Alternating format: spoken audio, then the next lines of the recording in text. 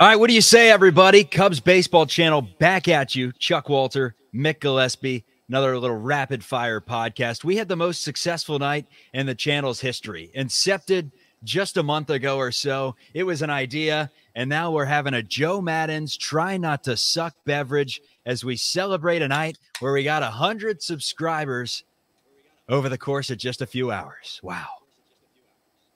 Yeah, it looks delicious. Uh, me, I'm in a hotel here in Kingsport, Tennessee, where I just hosted an event with Darryl Strawberry for the uh, MLB's Appy League All Stars. So I don't have one of those beers here, and you can tell this is a hotel room. That's Why don't you raid the pantry, get yourself a fifteen dollar bag I of would. some Smart Pop? I would, but you, I, you we got to do the show, and you keep popping off and doing other stuff. So I, you're you're keeping me from my cold beers. No doubt about it. All right. So Let's the good go. thing, the good thing about getting the subscribers is welcome to all of you that just joined the page. The bad thing about getting the subscribers is there were a lot of negative comments directed towards the guy in the hat. Uh, you don't have the hat on today, so you don't have to claim that. It was Mick Gillespie, though, who made some of those takes. So we'll get into it in just a moment. Let's start it off nice and easy. Kyle Hendricks. Is this his last start for the Chicago Cubs? It's a yes or it's a no. I think it may be. You know, like, and I guess the Cubs are going to have to find a partner. But, you know, if you go sell, he's a player that another team would want. I mean, can you imagine him going somewhere like Baltimore to give that young Orioles team that is so good the experience of having a guy that's been through a playoff and a World Series champion and pitching in Game Seven and all the stuff that he brings to the table? Uh, you know, sadly, it would be awful to have the last guy from 2016 that was on the Cubs World Series champion team not with the Cubs anymore. I mean, there's just something comforting about having a guy who was there when the curse was lifted, when we finally, you know, beat the Billy Goat down uh, with another franchise. But it, there were a lot of rumors that he was going to be traded last year, and of course, he had the injury. And um, yeah, I, I could see him being someone that would get a pretty good price and where the Cubs are right now, I don't know. I just, I just don't think that he's what they're looking at long term. Sorry. You mentioned Baltimore. Um, it's interesting because the Orioles have a third base prospect in Coby Mayo, who's blocked by big leaguers, who's blocked by better prospects in the system. Basically, Coby Mayo could potentially be available if you wanted to flip Kyle Hendricks. And what's so intriguing about Hendricks to other teams right now is not only is he really solid with an ERA under 3 4 right now, and, and has had three quality starts in his last five games. You get control of him next year. He's got that club option for $16 million. So if you like what Kyle Hendricks brings to the table for your squad next year, then basically you have a year and a half and he's not your typical rental, which can net you a little bit more. So it begs the question what can he net you? I look at a team like the Arizona Diamondbacks that have Zach Gallen, that have Merrill Kelly. He could be a great number three could Kyle Hendricks on that team. Diamondbacks also have two pitchers in AAA having decent success that are top five prospects in their system. I'm looking at the fifth prospect, Blake Walston. He's touchdown in AAA, a six-five lefty with room to get a lot better. And I'm also looking at AJ Vukovich, big right handed power bat, was a finalist for uh, Mr. Wisconsin in basketball. So he already is a Midwest guy, knows the area and he is projected to potentially be a big league third baseman, which is something the Cubs are looking for right now. Yeah, remember the Cubs traded Ryan Dempster to the Rangers to get Kyle Hendricks, you know, and that was uh, what back when people didn't want to see Demp go, you know, because we love Demp and you know he was going to help the Rangers make a run, and now we're kind of at the other end of this with Kyle Hendricks, and you know you, you're talking about some prospects. I think that the Cubs would really want to get back a young pitcher that could start for them because that's where they need help. That's where the big team, that's where the teams win championships with starting pitching. And we saw that with, you know, Kyle Hendricks. I mean, he was on a staff where he was like the fifth guy, you know, back in 2016. And by the end of the season, he was one of the most reliable options that the Cubs had, you know. Uh, and and so maybe going somewhere else. Not only do you have him and where he slots in the rotation, but he's one of the smartest baseball players I've ever been around. You know, like it's next level knowledge of the game. The the way that he is able to uh, break down batters. It doesn't necessarily mean that hey, I just watch a lot of video it's his ability to watch video, watch the game at a live pace, and then uh, you know dig in there and figure out weaknesses with hitters, and that's going to help all of the pitchers. Plus the confidence that this guy has. He's always been really quiet and confident. He, he's not a big talker, but he's actually uh, you know follow my lead type of guy. So those teams that are hoping, especially the young teams that are contending right now, there's the, the Rangers, uh, the Orioles you know, those are teams, the Diamondbacks you mentioned, that are young and they really think that they have a chance. Hendricks could be someone that you get, you put in your rotation, and not only does he help you by pitching, maybe he's your, your third guy, but he also helps the other guys by just the experience that he has. You know, he was a guy that a lot of people did not have on the prospect list, or he was down the line, you know, but when you looked at his stats as a minor leaguer, he'd have like 100 and some uh, strikeouts and like 10 walks, right? So that's what I'm saying. Like his ability it just kept on getting better and better as he as he went up the system. And so the Cubs, it's up to them and their scouts to go out there and find the next Kyle Hendricks. If you trade Kyle Hendricks, you know, and maybe it's a hard throwing guy, maybe it's somebody that just has amazing command. But you're right. You know, I I I know where you're going with this.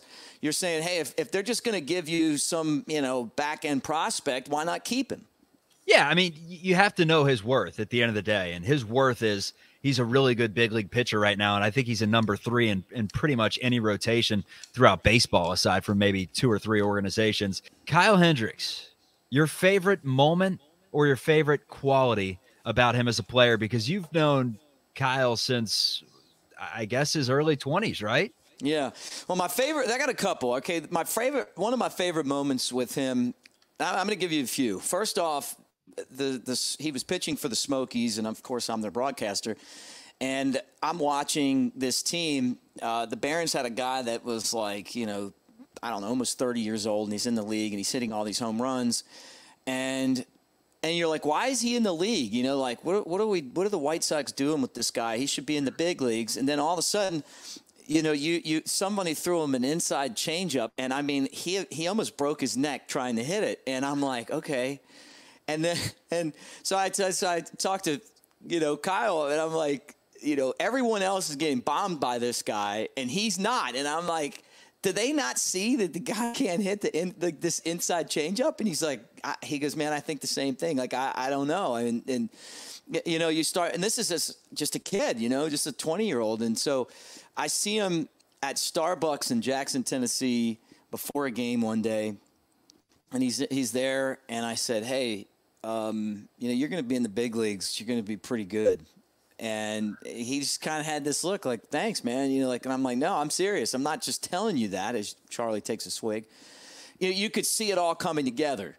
And so uh, his dad's a great guy. I saw his dad, I think, at spring training, and he's fighting for a spot. And I said, uh, I said, you know, one day he's going to be the opening day starter. And his dad's like, "Hey, we're just let's just get him into the you know like one of the top five spots, you know." But I've always had that kind of belief in him, and it's because I don't think that you have to overpower a batter to get him out. I don't think that I, I'm not so driven on these analytics that tell me that oh you know we got to strike everybody out and that's all it is. Look you, there's pitch to contact. There's guys who, who, can mix it up. There's guys that work against your strength your strengths and your weaknesses and he's one of those guys. He's special.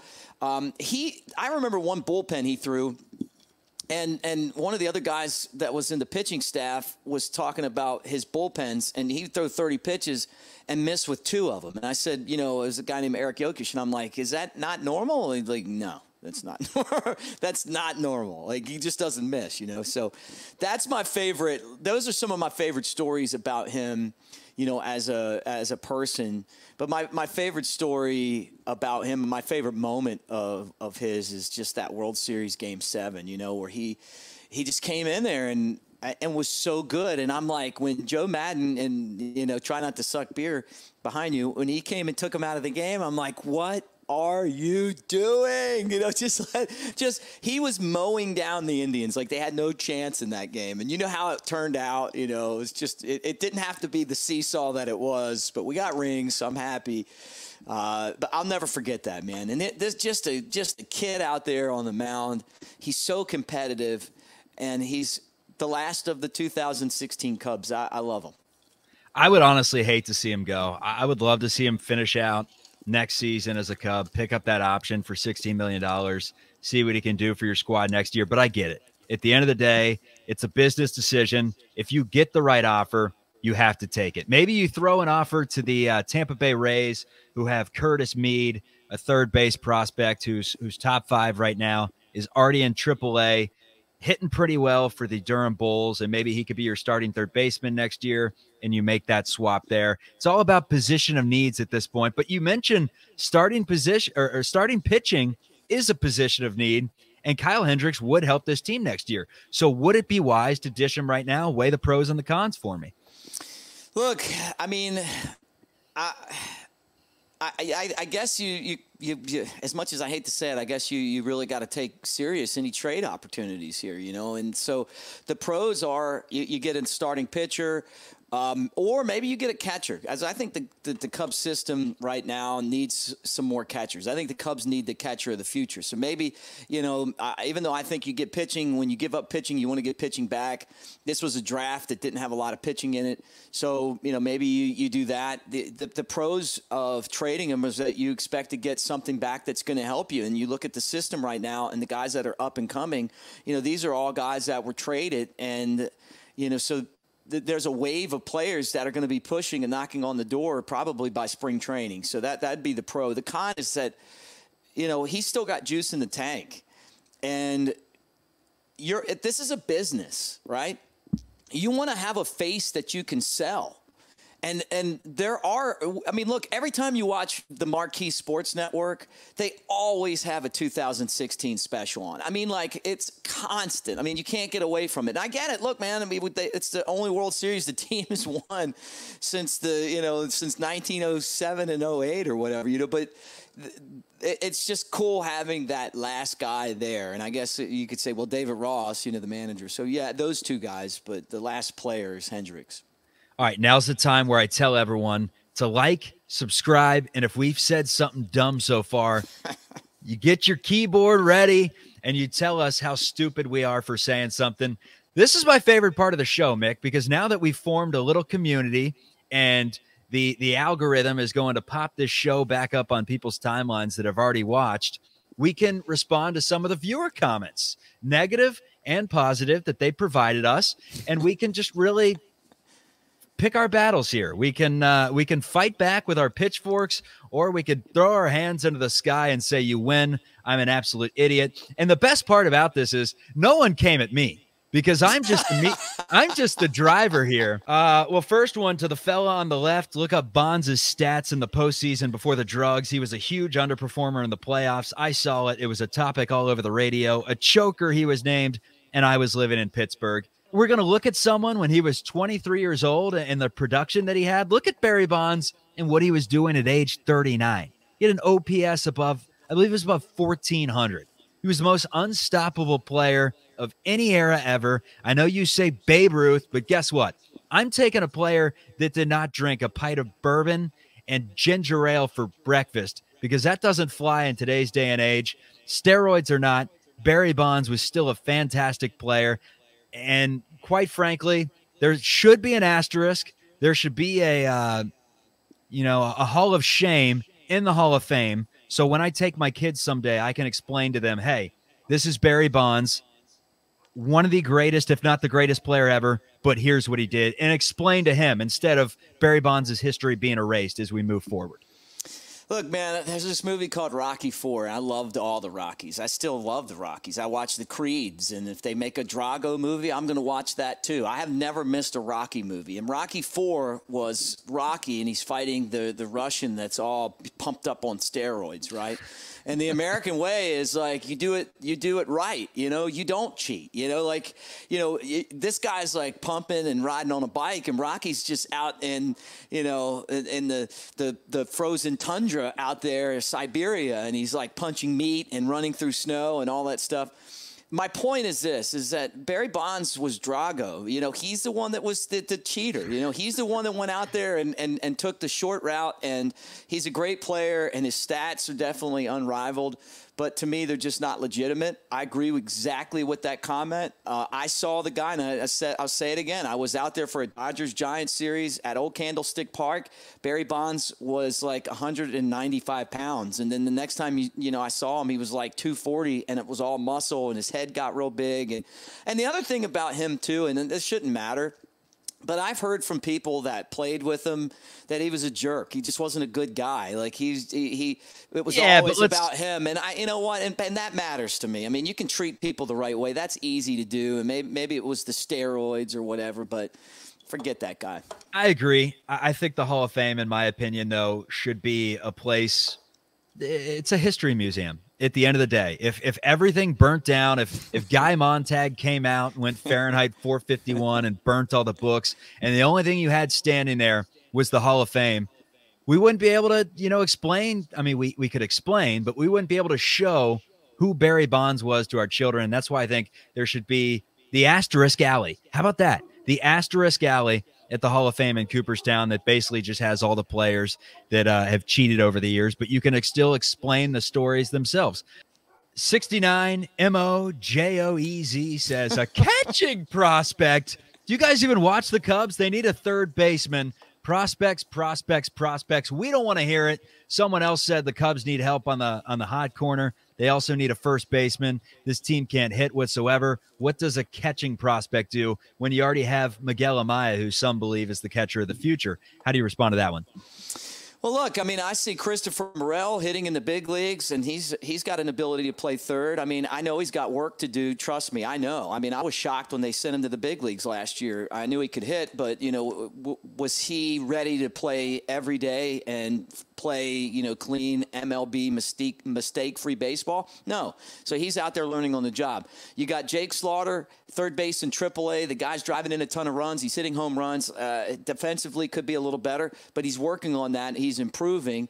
Um, and this guy, you know, he looks like a linebacker playing third base. Matt Mervis, another guy. You know, he he's he's killing it at AAA. He struggled a little bit in the big leagues in his first stat, stint, but so did Anthony Rizzo. You know, so I mean, you you throw those guys up there and then and then let them do their thing. You know, the, another guy in Double A right now, Haydn McGeary. I hosted the uh, Appalachian League All Star Game gala today, and uh, he was here last year, which is like college wood bat league guys, and now he's in Double A, and he's got this amazing exit velocity off of his bat. He's got a lot of work defensively to do, but he's converting to catcher to first base. But I mean, it's he's a prospect. I mean, like he's he is a prospect. I just look at catching.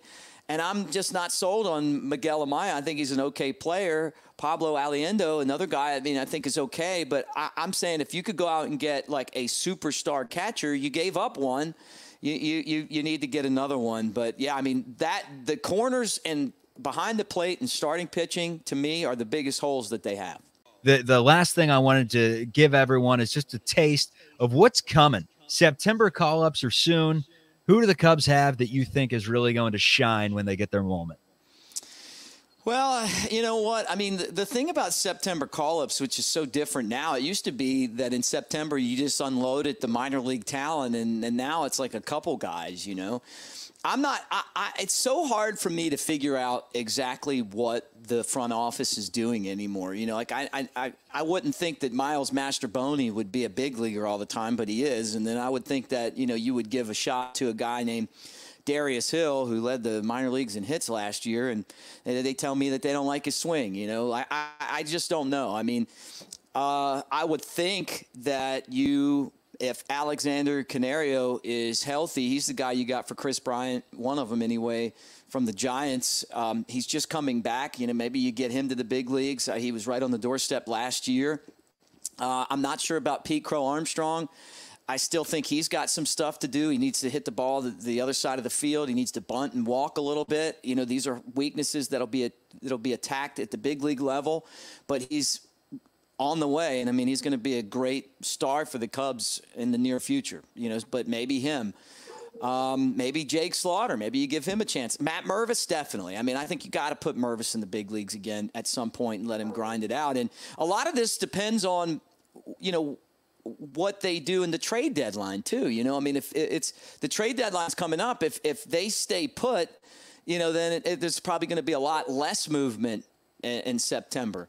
If they go and make a bunch of trades, then guess what? You're going to see you know the guys that would have been called up in September called up in August, and we're gonna we're gonna kind of throw them out there and uh, and try to um, you know go ahead and you know grind it out and, and see if we got any players.